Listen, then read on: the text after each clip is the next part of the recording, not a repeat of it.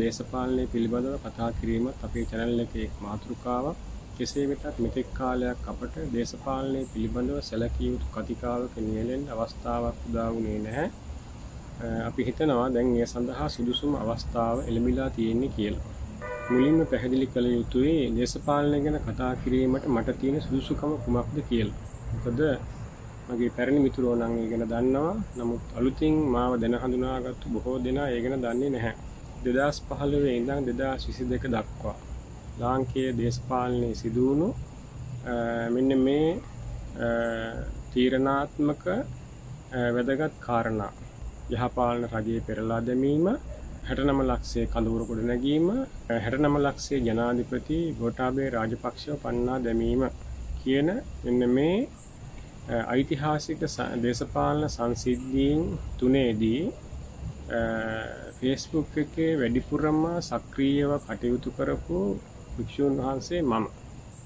ඒ නිසා මම දේශපාලනය ගැන කතා කරන්නේ අන්න ඒ වගේ අත්දැකීම් සහ පරිච්ඡයක් සහිතව 69 ලක්ෂයේ ජනපෞර ගොඩනගන්න පෙරමුණ ගත්තේ අපි අද වෙනකොට ඉදිරියේදී පැවැත්වීමට නියමිත ජනාධිපතිවරණය හමුවේ 69 ලක්ෂය තීරණයක් ගත නොහැකිව අසරණව අතරමංව සිටින බව තමයි අපට පෙනෙන්න තිබෙන්නේ ඒ නිසා ඒ කඳවුර ගොඩනගන්න පෙරමුණ ගත්තු අය හැටියට අපට යුතුයකමක් සහ වගකීමක් තිබෙනවා ඒ ජනතාවට මඟ පෙන්වන එක. ඒ නිසා තමයි මේ විදිහට අපි ඔවුන් ආමන්ත්‍රණය කරන්න තීරණය කළේ. 69 ලක්ෂයෙන් ඉතා සුළු පිරිසක් වෙනත් පක්ෂවලට ගිහිල්ලා තිබෙන බව පේන්න තිබෙනවා.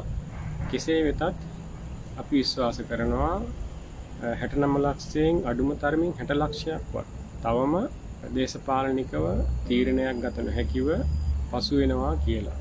ඒ අනුව අපි මේ කතා කරන්නේ අඩුම තරමින් 60 ලක්ෂයක පිරිසක්වත් අපට සවන් දෙන්න බලාපොරොත්තුවෙන් ඉන්නවා කියන විශ්වාසය මත. මේ වෙනකොට තුන් දෙනෙක් තමන් ජනාධිපතිවරණයට ඉදිරිපත් වෙන බව ඍජුව ප්‍රකාශ කරලා තිබෙනවා. ඒ අනුව සමග ජන බලවේගයේ සජිත් ප්‍රේමදාස ජනතා විමුක්ති පෙරමුණේ අනුර කුමාර දිසානායක සහ වත්මන් ජනාධිපති එක්සත් ජාතික පක්ෂයේ නායක රනිල් වික්‍රමසිංහ කියන මේ තුන් දෙනා මේ වන විට ඍජුවම ඉදිරිපත් වෙලා තිබෙනවා ප්‍රකාශ කරලා තිබෙනවා හෙළිදරව් කරලා තිබෙනවා තමන් එළඹෙන ජනාධිපතිවරණයට ඉදිරිපත් වීමට සූදානම් කියලා ඊට අමතරව පොහොට්ටුවෙන් ධම්මික පෙරේරා හරි කවුරු හරි ඊට ළඟට ශ්‍රී ලංකීපේ නියෝජනය කරමින් විජේදාස රාජපක්ෂ හරි කවුරු හරි වගේ කෙනෙකුත් ඉදිරිපත් වෙන්න ඉඩ තිබෙනවා. එතකොට අපේ ප්‍රශ්නය තමයි 69 ලක්ෂයේ තේරීම විය යුත්තේ කවුද කියන එක. අපේ යෝජනාව තමයි මේ සඳහන් කරපු අයගෙන් කිසිම කෙනෙක් කිසිම කෙනෙක් 69 ලක්ෂයේ තේරීම නොවිය යුතුයි. එහෙමනම් ඊළඟට අනිවාර්යෙන් මතුවෙන ප්‍රශ්නය තමයි 69 ලක්ෂය ආවද තෝරාගන්නේ කියන එක. ඇත්ත වශයෙන්ම අවස්ථාවේ හැටියට අපටත් මේ ප්‍රශ්නයට පිළිතුරක් දෙන්න පුළුවන් කමක් නැහැ. කෙසේ වෙතත් ඡන්දය දිය යුත්තේ කාටද කියලා කියනවට වඩා නොදිය යුත්තේ කාටද කියලා කියන එක අවස්ථාවේ හැටියට පහසුයි. ඒ අනුව අපේ යෝජනාව තමයි රනිල් සජිත් අනුර විජේදාස රාජපක්ෂ ධම්මික පෙරේරා කියන මේ දැනට මතුවෙලා තිබෙන චරිතවලින් කිසිම චරිතයක් 69 ලක්ෂයේ විකල්පේ නොවිය යුතුයි. එසේනම් අප කළ යුත්තේ කුමක්ද? අපට තිබෙන එකම විකල්පය තමයි අවස්ථාවේ හැටියට සුදුසු විකල්පයක් ගොඩනැගීම සඳහා අවශ්‍ය කරන බලපෑම සහ ඉදිරිපත් වීම කරන එක.